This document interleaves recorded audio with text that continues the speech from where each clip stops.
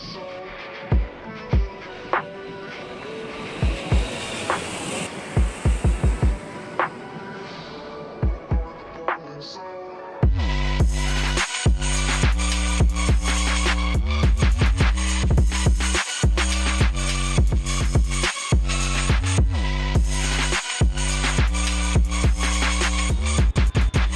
Shalom, Israel. This is Bishop Nathanyel. The Israelites have been scattered across the four corners of the earth, as prophesied in Deuteronomy, the 20th chapter. Here in Israel United in Christ, we need your help to recover the remnant of our people, teach them the gospel. Please help us, support us, and join or donate to the Booster Club today. Shalom.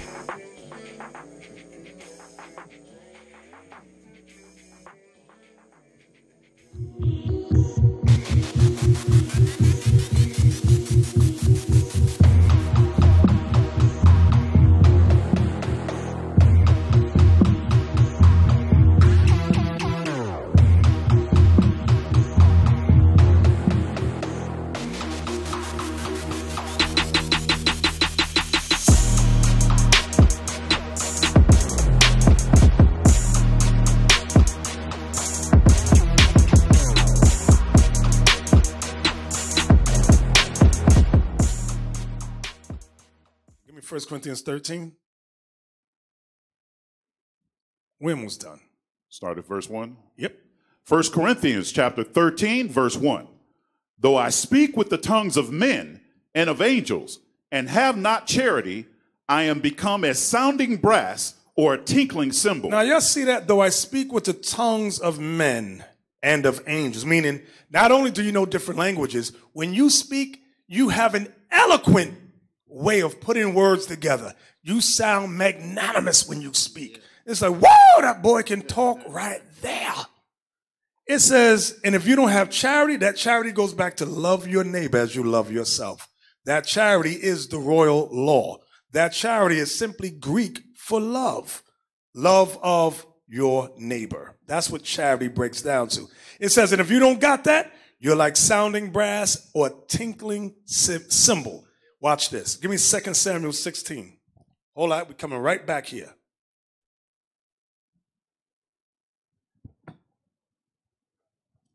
Second Samuel chapter 16, and all I want is verse 23.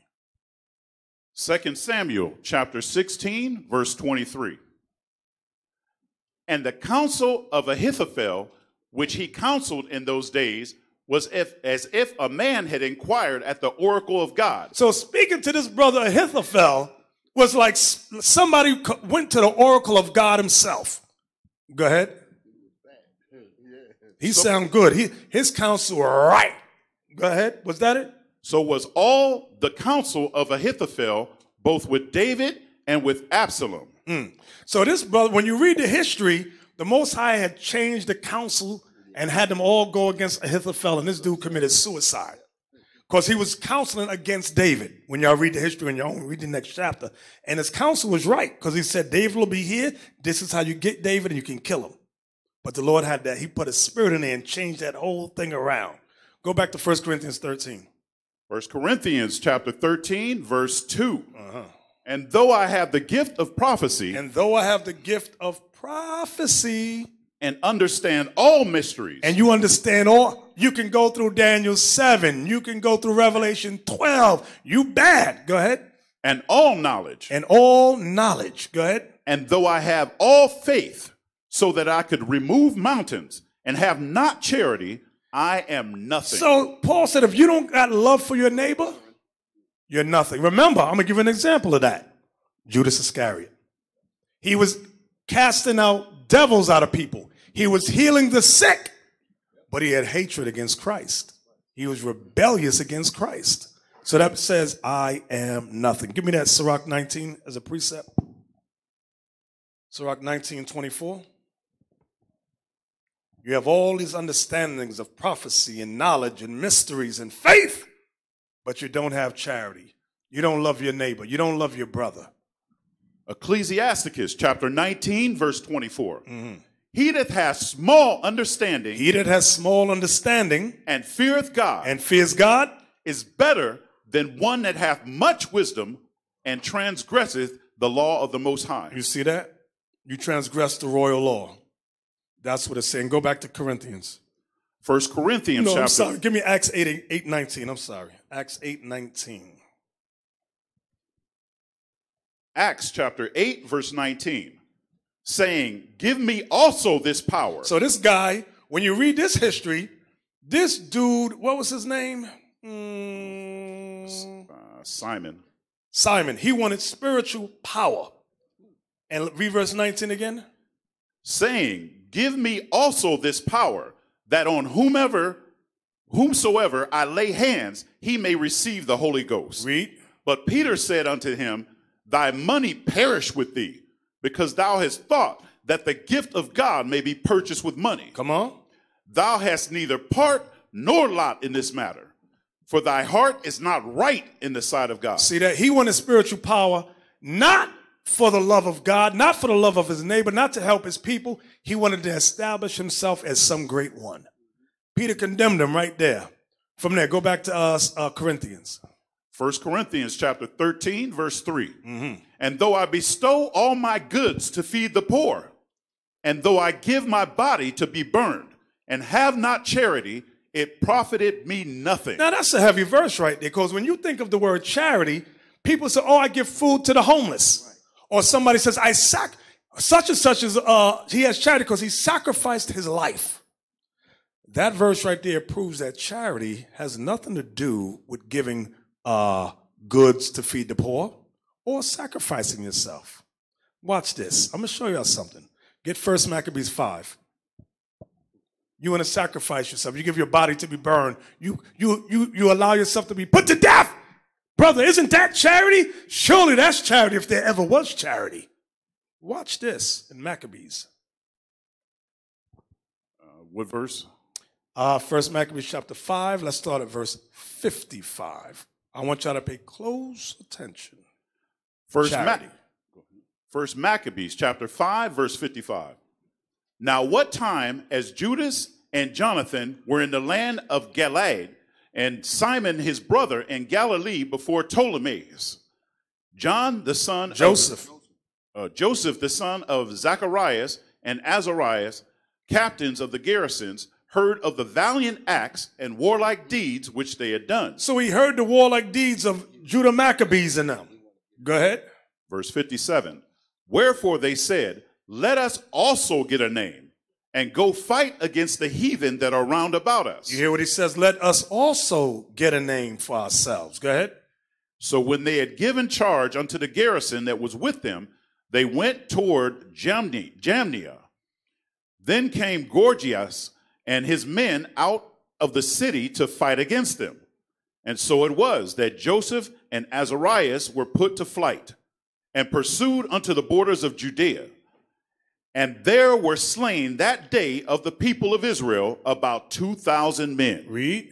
Thus was there a great overthrow among the children of Israel, because they were not obedient unto Judas and his brethren, but thought to do some valiant act. You see that? So you would think that this brother had charity, but no, his it had nothing to do with charity. He wanted to make a name for himself. He was disobedient.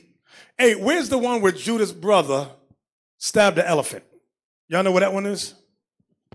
Somebody find me that. First, First Maccabees chapter six, verse forty-six. Which done, which done, he crept under the elephant and thrust him under and slew him. Whereupon the elephant fell down upon him, and there he died. So this was one of Judas' brothers that died creeping under an elephant and died. Many times you may think things are done out of charity, a charitable spirit. No, but it was done because you want some recognition. And it goes badly for you. Let's go back to 1 Corinthians 13. First Corinthians chapter 13, verse 4. Mm-hmm. Charity suffereth long Charity, the love of brethren, it suffers long. And is kind. And charity is kind. Charity envieth not, The spirit of charity does not have a jealous spirit in it. It's not envious. It's- it doesn't look at brothers or sisters' good works and have a envy breaks down to hate. Let me tell you that. emulation. You know, why, why did God give him that gift or her that gift and I don't got it? It says charity envieth not. Go ahead.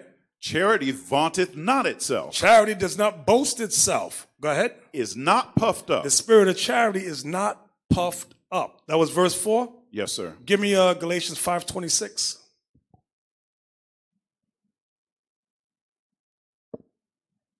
Galatians chapter 5, verse 26. Let us not be desirous of vain glory, You see that? Let us not be desirous of vain glory, because that is not the spirit of charity. Go ahead.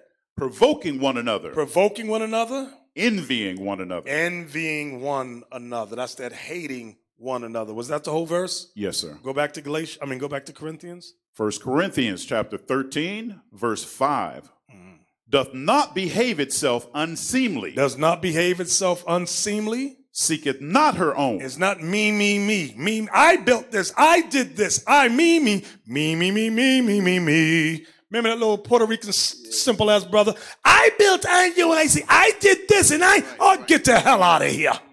And let's see you build another one in your lying little tear. He didn't build this. You ain't build this. Exactly. The hell is this? Read that again. doth not behave itself unseemly, seeketh not her own, is not easily provoked, thinketh no evil. From there, give me 1 John 2 and 9. And let's read down to 11. 1 John 2, verse 9. First John chapter 2, verse 9. He that saith he is in the light and hateth his brother He that says he's in the light and hateth his brother. Number one, that's that whole crew that ran up out of here. I'm in the, and they all say I'm in the truth. You ever notice that when people do that? Ev- let me tell you something. Everybody that leaves the truth, that leaves this, these commandments, hates their brother, does not congregate, they say, I'm still in the truth. You saw it from Austin to Chicago, from Chicago to New York, back and forth, the same spirit. Read it again. He that saith he is in the light and hateth his brother is in darkness even until now. The Bible says you're in darkness even until now. Go ahead. he that loveth his brother abideth in the light, You love your brother, you're going to congregate with your brother, you're going to fellowship with your brother. You in the light, you're obedient to the law. Go ahead. and there is none occasion of stumbling in him. You have no occasion of stumbling in his truth. Go ahead. but he that hateth his brother is in darkness He that hates his brother is in darkness. Come on. and walketh in darkness And not only that, but you walk in darkness. Go ahead. and knoweth not whither he goeth, You don't know where the hell you're going in this world. Go ahead. Because that darkness had blinded his eyes. Because darkness has blinded your eyes. Go back to 1 Corinthians 13. 1 Corinthians chapter 13, verse 6. Mm-hmm. Rejoiceth not in iniquity, So charity does not rejoice in iniquity. I knew that nigga was wicked. you, I'm glad you fell. Oh, I'm so happy you committed adult. What? What? Stop. Hold on. Pump the brakes. Charity does not rejoice in sin. Go ahead. But rejoiceth in the truth. It, but it rejoices in the truth. Give me that in Proverbs 24, 16.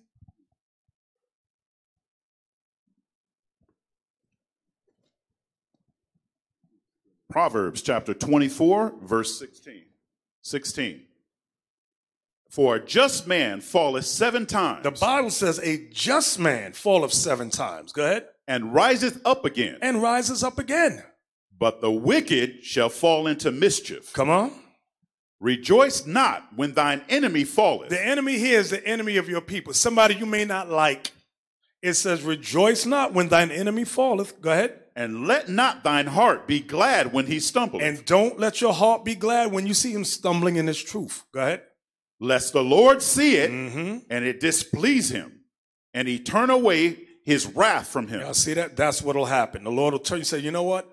Because because one man's test is all of our tests. You think the Lord's testing that one brother, but it's really a test for the rest of us. Let's see how they're gonna deal towards that brother that stumbled right there. Let's just see. Here's the test. From there, go back to 1 Corinthians 13. 1 Corinthians chapter 13, verse 7. Mm-hmm. Beareth all things, So charity bears all things. Go ahead. believeth all things, Charity believe whatever this Bible says, we believe the whole book. It ain't no, well, I don't believe this part of the Bible. You believe the whole thing. Go ahead. hopeth all things, And charity hopes all things. Go ahead. endureth all things. And charity, Christ said, He that endures to the end, the same shall be saved. So if you got that charitable spirit, male or female, we're going to receive the kingdom. Go ahead. Verse 8 Charity never faileth. When you got that spirit of love of your brother, it will never fail. That's what the scriptures say. Go ahead. but whether there be prophecies, they shall fail. Meaning they're going to come to pass. That prophecy was uh, come to pass already. That's what it means. Go ahead. Whether there be tongues, they shall cease. The gift of speaking in tongues was temporary. It ended. Go ahead. Whether there be knowledge, it shall vanish away. And the knowledge that we have as men and women shall vanish away. Because when the Lord come, that's the knowledge we're going to deal with. What verse was that? Verse 8, Verse 8. Go ahead. verse 9 For we know in part, and we prophesy in part. Anybody that tells you they got 100% truth is an idiot, a devil, and a liar. The Bible says we know in part and we prophesy in part. If you know all things, that's why the angel said to Esdras, How much does fire weigh? Where does the air begin and end? Where do the seven streams under the earth begin? You cannot comprehend that. Read that again. Verse 9 Right. for, we, for we know in part, and we prophesy in part. Everything we know is done in part. Okay. Read. Verse 10 But when that which is perfect is come, then that which is in part shall be done away. But when that which is perfect, which is Christ, is come, then that which is in part shall be done away. So Christ is the one that's perfect. So you mean to tell me you got Negroes running the earth now talking about they got 100% truth? They know it all. And, and if y'all, any of y'all online, because I know it's y'all online, be listening to these dumb bums, you're an idiot. You are an idiot. Now, I got 100% truth. You can't even get yourself out the ghetto. Your shoes run over, your car broke down. You can't even fix that. The hell is that? You got to beg your wife for a sandwich. You got 100% truth. And your wife's still smoking cigarettes with pants on. You're crazy. And y'all listening to these idiots. What verse was that? That was verse 10. That was verse 10. Give me Isaiah 54 13. Isaiah chapter 54, verse 13. And all thy children shall be taught of the Lord, and great shall be the peace of thy children. That's why when Christ comes, it says, when he that is perfect is come, then that which is in part shall be done away with. Why? Because we're all going to be taught of God. Christ is going to teach us from Genesis all the way up. And guess what? He might even go into before Genesis. That's something right there. I said something right there. I'm put that on the table. Leave that for another day. Back to 1 Corinthians 13. 1 Corinthians chapter 13, verse 10. But when that which is perfect is come, then that which is in part shall be done away. When I was a child, I spake as a child. I understood as a child. I thought as a child. But when I became a man, I put away childish things. So this verse 11 really goes back to verse 1. He didn't change the subject. We act, we're not uh, in the spirit of men when we can't deal with our neighbor as brothers. When you don't have that spirit of love towards your neighbor, that's not the spirit of a man. That's read it again. Verse 11 When I was a child, I spake as a child. I understood as a child. I thought as a child. But when I became a man, I put away childish things. Let me give you a precept. Look at Luke 7:31. This is what Christ said about the men of his generation. Luke chapter 7, verse 31. Because you know children get mad over anything. You take a try taking a toy from them or tell them to go to bed. Watch how mad they get. Read that. Verse 31. And the Lord said, Whereunto then shall I liken the men of this generation? And to what are they like? They are like unto children sitting in the marketplace and calling one to another and saying, We have piped unto you, and ye have not danced. We have mourned to you, and ye have not wept. So Christ said those Israelites are like children in the marketplace. They wanted Christ and the apostles to dance to their tune, to follow what they say. You ever get a group of kids and you always got this one child that wants to monopolize everything, control all. You do this and you go over there and you sit down and do this. But then you get that one child that says, I'm not doing that. Now that child is trying to control everything mad as hell. He won't listen to me. She won't listen to me. We'll go back to 1 Corinthians 13. 1 Corinthians chapter 13, verse 12. Mm-hmm. For now we see through a glass darkly. To see through the glass that we're looking through darkly is the Bible. Because like it says in Job, it says the wisdom of God is wisdom of God is double. We haven't seen all the double meanings that is written therein. We're, we're asking the Lord to open our eyes. So that's why when people say they got 100% truth, just shut the hell up. There's layers upon layers to this Bible. The white man knows that. Read that again. For for now we see through a glass darkly, but then face to face. But then face to face. Get that in Ezekiel 20. we going to see the Lord face to face. That's why up above it, where, where we just read in verse 10, but when that which is perfect is come, then that which is in part shall be done away with. That goes with the face to face. So look at Ezekiel 20 Verse 33. Ezekiel chapter 20, verse 33. As I live, saith the Lord God, surely with a mighty hand and with a stretched out arm and with fury poured out will I rule over you. You see that? You read that stuff about fury poured out. The same God that destroyed the entire earth with water is the same God that's going to destroy this place with fire. It's the same God. Go ahead. And he ain't going to play with us. Grace time will be officially over. Go ahead. And I will bring you out from the people and will gather you out of the countries wherein you are scattered. So he ain't gathering everybody. He's only gathering the Israelites. That's what you, when you read up above it from verse 31 down, it's talking about the Israelites. This is for you at home that said, well, that's everybody. No, verse 31 stipulates the children, the house of Israel. Read on. with a mighty hand and with a stretched out arm and with fury poured out. Come on. And I will bring you into the wilderness of the people. The same wilderness when we left out of Egypt is the same wilderness we going right back there again. Go ahead. And there will I plead with you face to face. There, see, that's the Corinthians. There will I plead with you face to face. That's what we just read in 1 Corinthians 13. Go ahead. Verse 36 Like as I pleaded with your fathers in the wilderness of the land of Egypt, mm-hmm. so will I plead with you, saith the Lord God. That's right.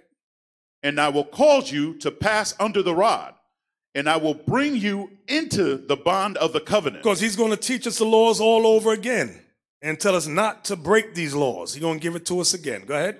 And I will purge out from among you the rebels, And all those rebellious spirits that's there among us are going to get put to death. Go ahead. And them that transgress. You can read about that in Zechariah 13, 1 to 4. Go ahead. and them that transgress against me. I will bring them forth out of the country where Because you know when the Lord sets up his uh his men, somebody gonna run their damn mouth. That's what Christ gave in a parable about. Remember, said these uh no no no no no no not that part. When it said the men, the northern kingdom came at the eleventh hour, and it said you made them equal unto us. He said, take what is yours and go your way. You're gonna have a problem with it. The Lord's gonna set up who He wants, and that's you have nothing to say about it. Go ahead. I will bring them forth out of the country where they sojourn, and they shall not enter into the land of Israel. They won't enter. See, he's going to bring them out of the country, but they will not enter into the land of Israel, the promised land, the new land. Go ahead. And ye shall know that I am the Lord. You shall know that I am the Lord. Back to 1 Corinthians 13. We're almost done. First Corinthians chapter 13, Verse Verse- 12 again. verse 12. For now we see through a glass darkly, Mm-hmm. but then face to face. Now I now I know in part, but then shall I know. You see that? That's the key right there. For now we see through a glass darkly, but then face to face. Now I know in part. Who's speaking? The Apostle Paul. And he saw visions and wonders. He says, I only know in part. So why you get brothers today talking about they got 100%? They're insane. So it says, now I know in part. Go ahead. But then shall I know, even as also I am known. Now to explain the glass, look at James 123. I just want to explain that. Look through a glass darkly. James 123 and down. James chapter 1, verse 23. Mm-hmm. For if any be a hearer of the word and not a doer, he is like unto a man beholding his natural face in a glass. So he's given an analogy of a mirror. You look at your natural face in a glass. Now, the glass is symbolic of the Bible. Go ahead. For he beholdeth himself You behold yourself in the scriptures, how you're supposed to be. Go ahead. and goeth his way, and straightway forgetteth what manner of man he was. You see that? Read. But whoso looketh into the perfect law of liberty The perfect law of liberty is the new covenant in Christ. You look in it, you study it. Go ahead. and continueth therein, And you continue in what it says. he being not a forgetful hearer, but a doer of the work, this man shall be blessed in his deed. This man shall be blessed in his deed. Back to 1 Corinthians 13, the last verse. 1 Corinthians chapter 13, verse 13. And now abideth faith, hope, charity, these three. But the greatest of these is charity. Now that's a great mystery. I wish somebody could tell the Israelite camps that spewing hatred for one another that the greatest of these three, the greatest of faith, hope, and charity, is charity. That's what's going to get us over. Give me Zephaniah 2 and 1 as we close out. So we can't fulfill Zephaniah 2 and 1 until we can fulfill 1 Corinthians 13. Zephaniah chapter 2, verse 1. Gather yourselves together. Because you hear the black and Latin, Latin people, let's, we need to gather together. We need to unite. But we cannot obey Zephaniah 2 and 1 until we obey 1 Corinthians 13, until we obey, love your neighbor as you love yourself, like we've been reading today. Read it again. Gather yourselves together. Yea, gather together, O nation not desired. Now we know we're the nation not desired based alone, not just the scriptures that we read, but all those slew of videos we looked at. You know, if you didn't know today that you're not desired as a people, now you know. Go ahead. Verse 2. Before the decree bring forth, Before the decree that the destruction is coming, bring forth. Go ahead.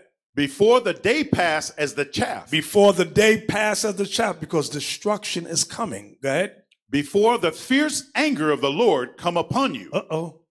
before the day of the Lord's anger come upon you. That's right. Read. Seek ye the Lord, all ye meek of the earth, Seek ye the Lord, all you Israelites of the earth. That's what the meek is. Go ahead. Which have wrought his judgment. Which have wrought his judgment. Come on. Seek righteousness. Seek righteousness. Seek meekness. Seek meekness, which is humility. It may be ye shall be hid in the day of the Lord's anger. Now, I don't know about y'all, but I want to be hid in the day of the Lord's anger. How about you, brothers? We used to scream black power while Heron was pushed. But at the end of the day, nothing's in vain. IUIC has been given a vision. The tents of Judah has risen. Many has attempted the mission, minor murmuring, omitting, and missing the mark. Just reading that he had the flame of fire in his eyes gave us the spark. We on Paul's mission. We out on the road, purple and gold, from Mexico, Cuba, Haiti, Ghana, Sierra Leone. 144,000 boots banging, concrete crackling. These are our men repented at heart. The scriptures is proof. IUIC, we deliver the truth.